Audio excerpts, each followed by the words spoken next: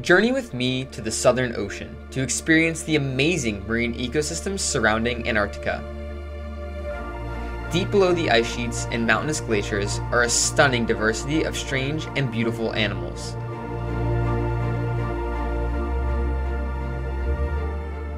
Most of which are marine invertebrates.